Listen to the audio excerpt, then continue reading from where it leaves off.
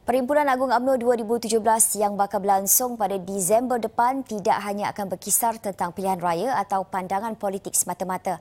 Naib Presiden AMNO Datuk Seri Syamuddin Tun Hussein menegaskan perjuangan AMNO untuk membela masyarakat Melayu tidak hanya mengikut musim, malah akan berterusan dan kekal relevan. Tunjukkan kepada dunia bahawa masa kita uh, berhimpun uh, bulan depan, awal bulan depan, ianya tidak berkisar semata-mata untuk pilihan raya. Uh, perjuangan kita untuk membela dan meletakkan pelang, uh, kelangsungan kepada uh, kedudukan umat Islam dan tanah air kita, ini konten yang mesti terus diperjuangkan.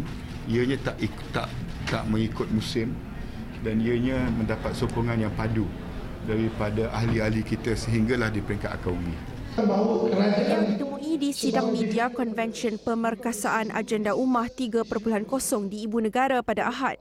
Jelasnya, konvensyen ini akan menjadi platform bagi semua pihak berkepentingan untuk berbincang dan berbahas mengenai usul yang bakal dibawa di Perhimpunan Agung AMNO nanti. Empat sesi perbincangan diadakan membabitkan bidang agama, pendidikan, politik dan ekonomi yang diwakili barisan speaker dan moderator berkemahiran serta berpengalaman.